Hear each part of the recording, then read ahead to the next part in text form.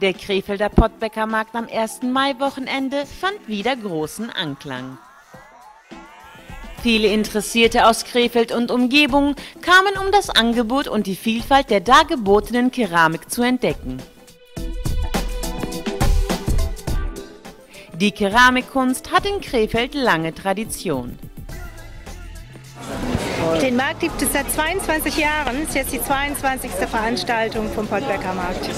Wir haben ja ca. 88 bis 100 Aussteller jedes Jahr.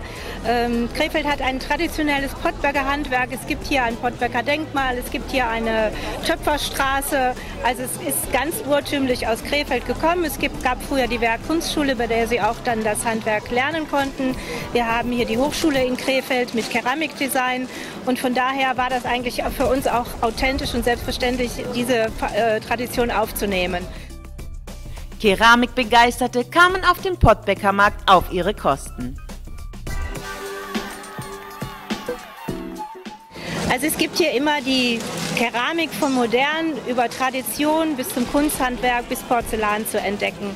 Äh, unser Motto ist immer, wenn irgendjemand irgendwo Porzellan zerscherbelt worden ist, dann kann er hier immer wieder vieles Neues und Innovatives finden.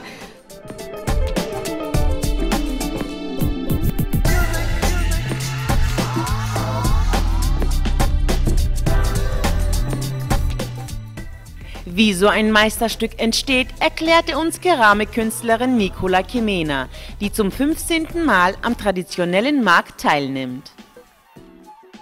Das Gefäß wird aus einem Klumpen gedreht auf der Töpferscheibe. Da habe ich einen großen Klumpen, den ich, der wird zentriert, aufgerissen und die Schale gedreht.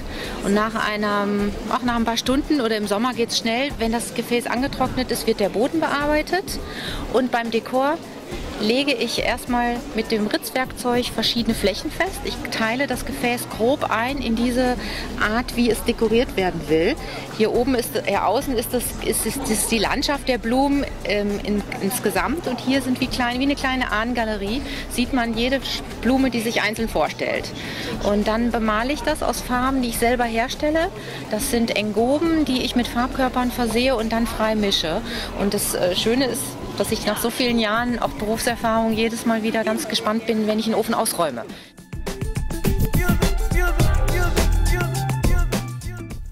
Ob handgefertigte Töpfe, Tassen oder Kunstobjekte, der Kreativität war zur Freude der Besucher keine Grenzen gesetzt.